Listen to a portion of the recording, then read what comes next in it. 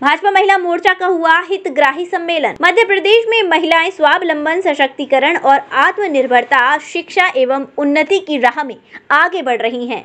इसके पीछे केंद्र एवं प्रदेश की भाजपा सरकार की महिला सशक्तिकरण एवं उनके अधिकारियों की नीतियों के कारण संभव हो सका है।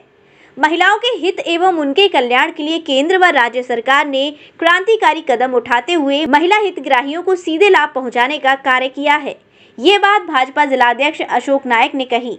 वे गुरुवार को भाजपा जिला कार्यालय पर महिला मोर्चा द्वारा आयोजित हितग्राही सम्मेलन में मुख्य अतिथि के रूप में संबोधित करते हुए बोल रहे थे।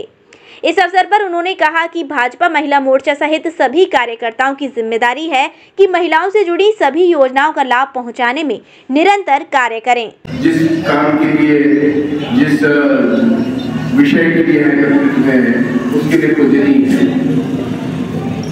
लाडली लक्ष्मी योजना। पूरे देश में कहीं नहीं केवल मध्य प्रदेश में।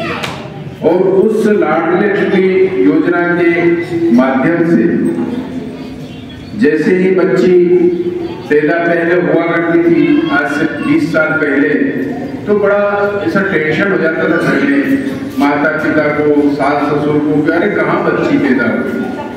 क्यों? बच्ची क्या अपवाद है क्या?